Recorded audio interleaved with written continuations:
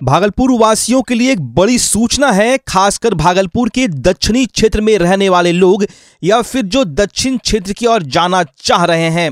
दरअसल भागलपुर के दक्षिणी क्षेत्र को कनेक्ट करने वाला भोलानाथ और बौसी पुल एक महत्वपूर्ण रास्ता है, परंतु अब कुछ दिनों तक इस पर परिचालन पर पूर्णतः रोक लगा दी गई है। जी हाँ, जैसा कि आप लोगों को मालूम है कि भोलानाथ आरोबी का निर्माण किया जा रहा है और अब इसमें गति आ गई है। अब भोलानाथ फ्लाईओवर के लिए पाइलिंग का कार्य शुरू होने जा रहा है। इसके लिए शीतला स्थान चौक से बौसी रेलवे अंडरपास के बीच फ़िलहाल परिचालन पर रोक लगा दी गई है। तो अगर आप मिर्जान से शीतला स्थान चौक होते हुए बौसी पुल की ओर जाना चाह रहे हैं तो आप नहीं जा पाएँगे, क्योंकि आवागमन पर प्रशासन ने रोक लगा दी है। दोपहिया वाहन समेत अन्य सभी प्रकार के वाहन के परिचालन पर पूर्णतः रोक लगा दी गई है। ट्रैफ़िक पुलिस की ओर से सड़क पर दोनों ओर से बैरिकेडिंग भी कर दी गई है और आवागमन को बंद कर दिया गया है। ऐसी स्थिति में लोगों को वैकल्पिक रास्तों का उपयोग करना पड़ेगा। हम आपको बता दें कि मिर्जान से शीतला स्थान चौक और भीकनपुर गुमटी नंबर तीन के बीच लगभग 1400 मीटर का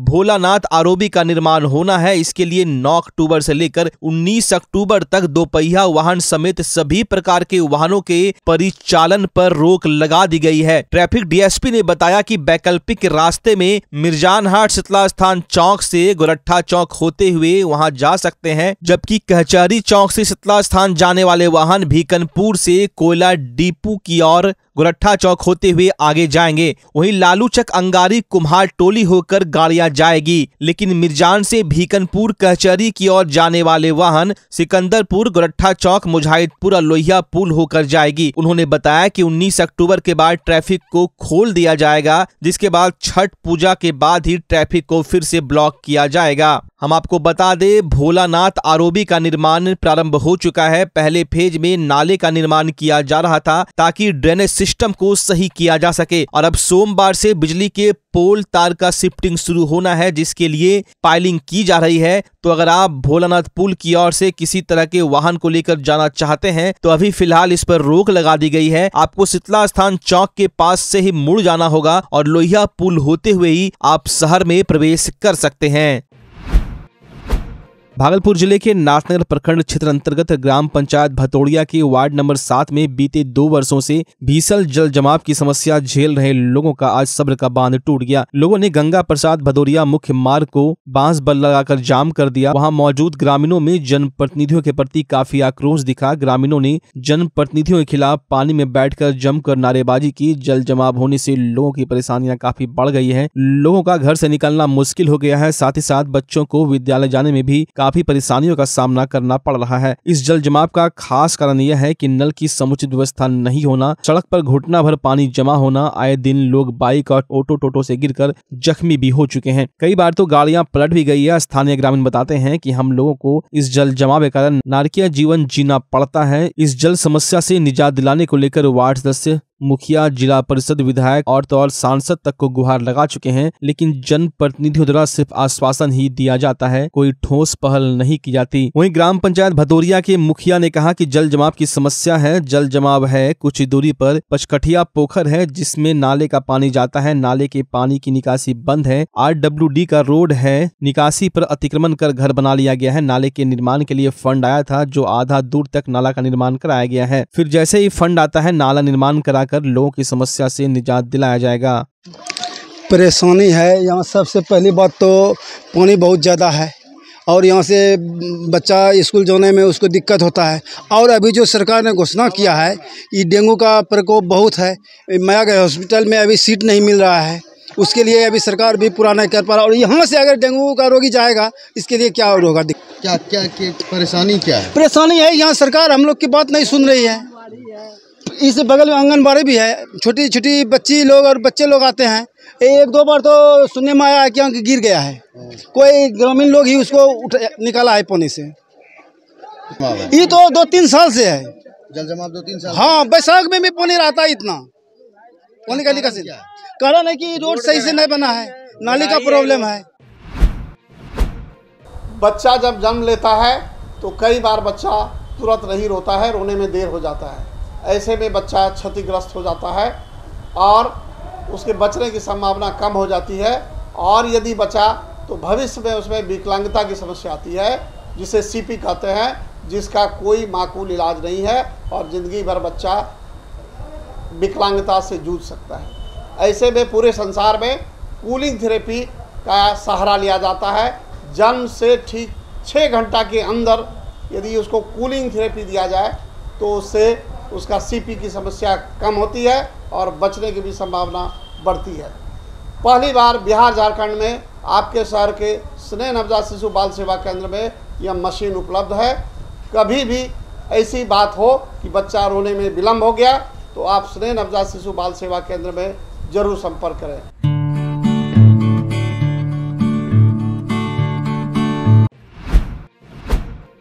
भागलपुर में स्मार्ट सिटी की ओर से प्रतिमाओं के विसर्जन के लिए कृत्रिम तालाब का निर्माण कराया गया है। लेकिन जो कृत्रिम तालाब भागलपुर में गंगा नदी किनारे बनाया गया है, शायद वो पर्याप्त नहीं है। एनजीटी के गाइडलाइन के मुताबिक गंगा नदी में सीधे प्रतिमा का विसर्जन नहीं करना है। लेकिन स्मार्ट सिटी भागलपुर द्वारा बनाए गए बिहार के पहले कृत्रिम तालाब का जो आकार है, वो भागलपुर के सैकड़ों प्रतिमा विसर्जन के लिए पर्याप्त नहीं है। साथ ही पूजा महासमिति के सदस्यों की आपत्ति दिखी कि कृत्रिम तालाब की बनावट सही नहीं है, उसमें सुधार की ज़रूरत है। कृत्रिम तालाब को देखने के लिए डीएम सुब्रत सेन ने एसडीएम धनंजय कुमार को मौके पर भेजा था, जिसके बाद पूजा महासमिति के सदस्य और भागलपुर के एसडीएम धनंजय कुमार ने मुआयना किया। कृत्रिम तालाब के बाहर भिसारी पूजा के प्रतिमा का मलबा फेंका हुआ मिला। विसर्जन घाट पर बिजली का पोल बीचों बीच है। प्रतिमा विसर्जन के दौरान पावर कट की बड़ी समस्या होती। है आपको लेके समितियों के बीच में कुछ संशय है।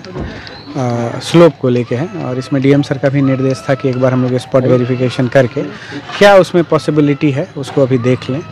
तो चूँकि मूर्तियों की संख्या अधिक रहती है उस समय दुर्गा पूजा हो या काली पूजा हो तो अभी जो समझ में आ रहा है कि इसमें कुछ हम लोग अल्टरनेट रेल्स वगैरह का इस्तेमाल करके कुछ तो छोटी मूर्तियों का विसर्जन आराम से करवा लेंगे। कुछ बड़ी प्रतिमाएँ भी रहती हैं तो एक साथ में ही जैसे हर एक वर्ष हम लोग दो कृत्रिम तालाब का निर्माण करवाते थे तो चूँकि एक ऑलरेडी अभी स्मार्ट सिटी के माध्यम से एक बना हुआ है परमानेंट स्ट्रक्चर तो एक यहाँ पे साइड में एक कृत्रिम तालाब हम लोग बनवा के जो भी बड़ी प्रतिमाएँ होगी उसका विसर्जन वहाँ पे करवा लेंगे। ये तो इसकी देखिए पावर कट का अभी जो वर्तमान जो अवेलेबल रिसोर्सेस है जैसे अंडरग्राउंड वायरिंग को अभी अब अगर हम ना सोचें क्योंकि अभी वो है नहीं यहाँ पे तो उसमें एक यही जो मूल समस्या ये आती है कि किसी भी क्षेत्र की मूर्तियों के बीच में बहुत दूरी हो जाती है। उदाहरण के तौर पे अगर मान लीजिए किसी क्षेत्र में दस मूर्तियाँ हैं तो नौ मूर्तियाँ तो निकल जाती है, एक मूर्ति रह जाती है बहुत पीछे। उसके कारण पूरे एरिया को सफ़र करना पड़ता है। उसमें मेरा समितियों से भी अनुरोध होगा और हम लोग भी इसमें लगेंगे कि जो भी क्षेत्र की मूर्तियाँ निकले, वो एक साथ सभी मूर्तियाँ निकल जाए तो उस उस एरिया में हम लोग पावर रिस्टोर करवा पाएँगे। लास्ट ईयर भी दुर्गा पूजा में मुझे याद है कि इन लोगों के लगे रहने के कारण बहुत जल्दी विसर्जन हुआ था और एरिया वाइज हम लोगों ने पावर बहुत जल्दी रिस्टोर कर दिया था। मुझे जहाँ तक याद आ रहा है छः से आठ घंटा ही लाइट कटा था जहाँ पहले बारह से सोलह घंटा लाइट कटा घंटा कटा था। तो इसमें हम लोग का कोशिश लगातार जारी रहेगा कि उस पीरियड को और कम कर पाए वो कोसी और गंगा से घिरा नौगछिया अनुमंडल में छात्रों को शिक्षित बनाने के लिए सरकार ने नौगछिया में मदन अहिल्या महिला कॉलेज का निर्माण तो करवा दिया, मगर दूर दराज से नौगछिया पढ़ने आने वाले गरीब छात्राओं के लिए कई वर्षों से बनकर तैयार छात्रावास धूल फाक रहा है इसको लेकर कॉलेज की छात्राएँ आज से भूख हड़ताल पर बैठ गईं। उनकी मांग है कि कॉलेज में वर्षों से बनकर तैयार छात्रावास को चालू किया जाए आपको बता दें कि नौगछिया पुलिस ज़िले के एकमात्र महिला कॉलेज होने के साथ साथ नौगछिया से सटे जिला कटिहार, खगड़िया, पूर्णिया, मधेपुरा, बांका, भागलपुर की छात्रा भी इससे लाभान्वित होती हैं। दूर से आने वाली छात्रा रोज कॉलेज नहीं आ पाती, जिससे उनका पचहत्तर प्रतिशत हाजिरी पूरी नहीं हो पाती। वैसे छात्राओं को रहकर पढ़ाई करने के लिए कॉलेज कैंपस में दो छात्रावास का निर्माण भी करवाया गया, मगर वो आज तक चालू नहीं हो पाया। एक छात्रावास वर्ष 2004 में बनाया गया, जिसे हैंडओवर तो कर दिया, मगर वो चालू नहीं हो सका। वहीं वर्ष 2008 में एक और छात्रावास का निर्माण करवाया गया, जो अब तक हैंड ओवर नहीं किया गया है। दोनों छात्रावास का आलम यह है की यह खंडर में तब्दील हो चुका है, दीवारें झड़ने लगी है, कभी भी बड़ा हादसा हो सकता है। बिना छात्रावास चालू हुए ही मरम्मती का कार्य करवाना अति आवश्यक है। इसके बावजूद अब तक छात्रावास को चालू नहीं करवाया गया है, जिससे छात्रों का पैसा खर्च कर दूर दराज से कॉलेज आना पड़ता है। छात्रावास को चालू कराने को लेकर अखिल भारतीय विद्यार्थी परिषद वर्ष 2016 से लगातार महाविद्यालय के मांग पत्र विश्वविद्यालय में कुलपति को मांग पत्र धरना प्रदर्शन भी कर रही है। यहाँ तक कि छात्रा अनशन पर भी बैठी, लेकिन विश्वविद्यालय प्रशासन की अब तक आँख नहीं खुली। वहीं इस मसले पर प्रधानाचार्य संजय कुमार चौधरी ने कहा कि मेरे संज्ञान में यह एक महीने पहले आया है, दो हॉस्टल जो लगभग निर्मित है और कुछ काम बाकी है और जो कार्य विश्वविद्यालय के स्तर से किया जा रहा है, यह विश्वविद्यालय तय करेगी कि वो कब तैयार करके कॉलेज को हैंड ओवर करेगी। जिस दिन विश्वविद्यालय तैयार करके हैंड ओवर कर देगी, उस दिन हम लोगों को कोई आपत्ति नहीं है। मैं भी यह चाहता हूँ की बच्चे हॉस्टल में रहे। आवास को लेकर के। छात्रा आवास बहुत सालों से बंद करके तैयार है। 2016 से ही बंद करके तैयार है। दो दो छात्रा आवास और बहुत सालों से ये बंद करके तैयार है और चालू नहीं हो रहा है, इसलिए आज हम लोग भूख हड़ताल पे बैठे हैं। इसको लेकर विभाग स्तर पर क्या आप प्रयास किया? हम लोग इसको लेकर के वीसी के पास प्रोफेसर वीसी के पास विश्वविद्यालय में जाकर के बहुत बार अप्लीकेशन दिए। प्रधानाचार्य को भी बहुत बार अ, हम लोग अप्लीकेशन दे करके बैठे हैं लेकिन कुछ सुनवाई नहीं हो रहा है। पिछले कुछ महीने पहले वीसी आए थे तो हमको आश्वासन दे करके गए थे कि लास्ट अप्रैल तक में हम लोग छात्रा आवास चालू कर देंगे लेकिन उसके बाद कुछ भी कार्रवाई नहीं हुआ है और कुछ ना यहाँ कोई व्यवस्था ही नहीं बना है। कब से बना है ये छात्रावास ये 2016 से ही बन करके तैयार है। एक तो बन करके पूरी तरह से क्षतिग्रस्त हो गया और एक बना हुआ है तो उसमें अभी तक कुछ व्यवस्था नहीं है। अनियमितता भी है छात्रावास में। हाँ जी बहुत। वहाँ पानी की व्यवस्था नहीं है शौचालय की व्यवस्था नहीं है बिजली की व्यवस्था नहीं है। इसको लेकर आप लोग क्या कर रहे हैं? उसको लेकर के हम लोग जो कार्य है कर रहे हैं। प्रोफेसर वीसी के पास बहुत बार विश्वविद्यालय में जा कर के अप्लीकेशन दिए हैं बात किए उनसे। बहुत सारी समस्याएँ हैं हमारे कॉलेज में उसको लेकर के हम लोग बहुत बार एप्लीकेशन दिए हैं लेकिन कोई सुनवाई नहीं हो रही। नहीं चालू हो पाता तो आगे क्या करना है? आगे हम लोग आंदोलन करेंगे और क्या अगर नहीं चालू होगी टाइम से तो हम लोग आंदोलन करेंगे इसको लेकर के। कितने बेड का छात्रावास लगभग 200 बेड का। परिचय? मेरा नाम साक्षी भारद्वाज है कॉलेज अध्यक्ष एबीपी अखिल भारतीय विद्यार्थी परिषद। हमारे कॉलेज में बहुत सारी चीज़ों की समस्या है जैसे कि पानी की समस्या और इधर उधर बैठने की समस्या बहुत सारी चीज़ों की यहाँ समस्या है पर फिर भी मतलब कितने मतलब एप्लीकेशन देने के बाद भी इन समस्याओं को पूरी नहीं की जा जा रही है। आज हड़ताल पे क्यों बैठी हुई समस्या को लेकर ताकि मतलब जल की सुविधा हमारे कॉलेज में हो बैठने की सुविधा हो हर चीज़ की सुविधा हमारे कॉलेज में हो इसीलिए मदद नहीं लिया। हॉस्टल को लेकर क्या समस्या है? हॉस्टल में भी बहुत सारी समस्या है जैसे जल की सुविधा नहीं है और मतलब इस शिक्षा भी मिल रही है पर वैसे लोग दे नहीं रहे जैसे मतलब खोजते हैं बच्चे लोग और मतलब बहुत सारी चीज़ें जैसे जल हो गया बैठने की सुविधा हुई बहुत सारी चीज़ों की समस्या है पर फिर चालू हुआ है। नहीं। इसको लेकर क्या करना है? समस्या को मतलब ख़त्म करना अब हम लोग मतलब धरना पे बैठे हैं तो समस्या ख़त्म करने के लिए ना बैठे हैं। क्या नाम हुआ? अफसाना। क्या? अफसाना। हड़ताल पे बैठी है। यहाँ पे कॉलेज में बहुत सारी समस्या है। यहाँ बैठने के लिए जगह नहीं है ना ही पानी पीने के लिए पा, पीने के लिए है हॉस्टल है तो उसका भी उपयोग नहीं हो रहा है यहाँ पे। ऐसे ही खाली पड़ा है हॉस्टल। कॉलेज प्रशासन यानी वर्तमान में मेरे संज्ञान में ये एक महीना पहले आया है। कॉलेज के पास दो हॉस्टल जो लगभग निर्मित है कुछ काम उसमें बचा है। और जो भी कार्य है वो विश्वविद्यालय के स्तर से किया जा, जा रहा था और किया जा रहा है। तो ये विश्वविद्यालय तय करेगी कि कब वो तैयार करके कॉलेज को हैंडओवर करेगी। जिस दिन विश्वविद्यालय तैयार करके हैंडओवर कर देगी, हम लोगों को कोई आपत्ति नहीं है कि उस बच्चे रहें। ये मैं भी चाहता हूँ कि बच्चे रहें। इसलिए कि पचहत्तर परसेंट अटेंडेंस होने के कारण स्टूडेंट्स की संख्या काफ़ी बढ़ रही है और स्टूडेंट्स जो गरीब छात्राएँ हैं, वो काफ़ी दूर से आती हैं। तो वो यहाँ रहें उनकी व्यवस्था यहाँ हो 200 छात्रों का व्यवस्था यहाँ हॉस्टल में हो सकता है। लेकिन ये कॉलेज प्रशासन ने दो दो बार, मेरे टेन्योर में मैंने दो दो बार लिखा है वीसी को विश्वविद्यालय प्रशासन को। अभी तक मुझे कोई सकारात्मक पहल दिख नहीं रहा है। आज मैं फिर उन्हें लिखूँगा।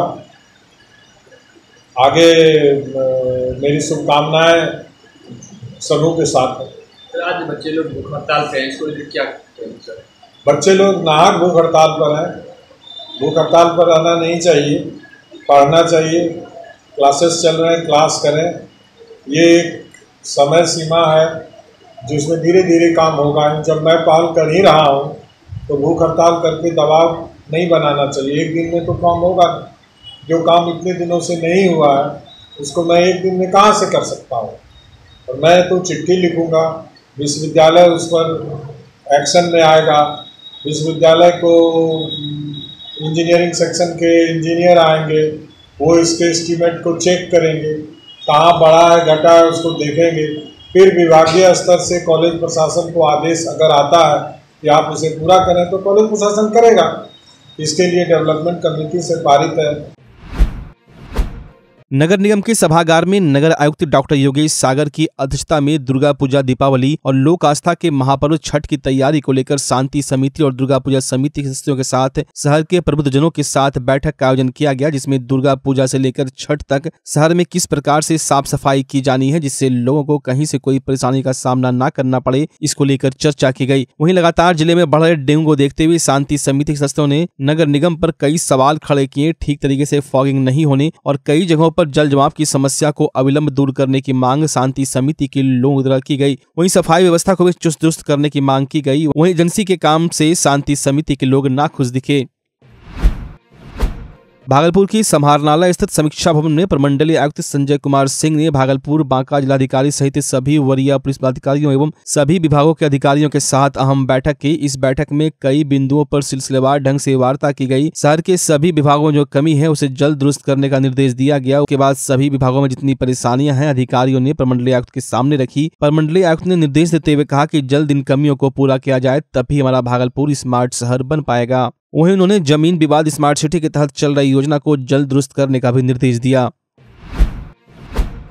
भागलपुर ज़िले में गरुड़ के संरक्षण के लिए विशेष पहल की जा रही है, ऐसा इसलिए भी क्योंकि विश्व में विलुप्त होती पक्षियों की गरुड़ प्रजाति की आबादी बिहार के भागलपुर में सबसे अधिक है। भागलपुर ज़िले के नौगछिया के कदवा में भारत का सबसे बड़ा गरुड़ संरक्षण केंद्र है। साथ ही साथ विश्व का एकमात्र गरुड़ पुनर्वास केंद्र भी भागलपुर में है, जहाँ झुंड में गरुड़ पक्षी पहुँचते हैं और प्रजनन भी करते हैं। सन दो हज़ार पाँच के सर्वे के मुताबिक यहाँ पचहत्तर गरुड़ थे, जिसकी संख्या बढ़कर अब पाँच से अधिक हो गई है। गरुड़ पक्षी जिसे सनातन धर्म में भगवान का दर्जा दिया गया है और भारतीय लोग इसे गरुड़ महाराज बोलते हैं और इसकी पूजा भी करते हैं। ऐसे में वन विभाग के द्वारा गरुड़ के संरक्षण का संदेश जन जन तक पहुँचाने के लिए डाक विभाग के सहयोग पाँच हज़ार डाक लिफाफा जारी किया गया है, जिसके ऊपर गरुड़ पक्षी की तस्वीर और उसे संरक्षण देने का संदेश छिपा हुआ है। वन्य जीव संरक्षक अरविंद मिश्रा ने बताया की इंसान के जीवन में भी पशु पक्षियों की अहम भूमिका है, खासकर गरुड़ पक्षी को भगवान का दर्जा दिया गया है और यह विश्व भर में प्रजाति विलुप्त होने के कगार पर है, इसलिए इसका संरक्षण करना हम सभी का कर्तव्य है। वहीं डीएफओ भरत चिंतापल्ली ने बताया कि यह खास लिफाफा के माध्यम से गरुड़ संरक्षण में हमें मदद मिलेगी। डाक के माध्यम से यह लिफाफा जहाँ भी पहुंचेगी, वहाँ तक गरुड़ संरक्षण का संदेश भी जाएगा।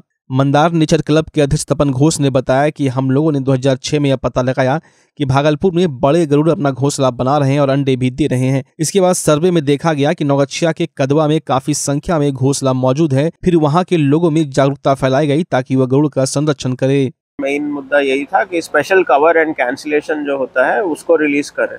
स्पेशल कवर एंड कैंसिलेशन एक लिमिटेड नंबर में पब्लिश होता है सिर्फ़ एक बार। तो पाँच हज़ार पब्लिश हुए हैं आज। गरुड़ का स्टैम्प कवर और कैंसिलेशन आपने देखा होगा। इसमें एक लेमन्स लैंग्वेज में बोलूँ तो इसमें तीन चीज़ें होती हैं। एक तो एक कवर होता है, जिसको हम स्टैम्प कवर बोलते हैं।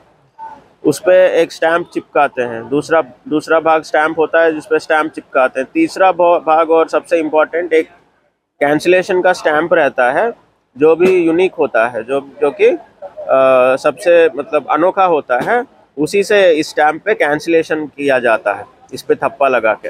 तो ये तीनों का मिश्रम को हम स्पेशल कवर एवं कैंसिलेशन बोलते हैं। ये ऐसे पाँच हज़ार रिलीज़ हुए हैं, जिसमें तीन सौ जो है हमने डाक विभाग को दे दिया है ताकि ये आगे जो भी इंटरेस्टेड हैं उनको दे सकें। और बाकी जो है विभाग में ही हम देंगे जो जो भी वी हैं जो भी जनप्रतिनिधियाँ हैं, सबको मिलेंगे। जो भी इंटरेस्टेड है इस फ़ील्ड में, उन सबको मिलेंगे।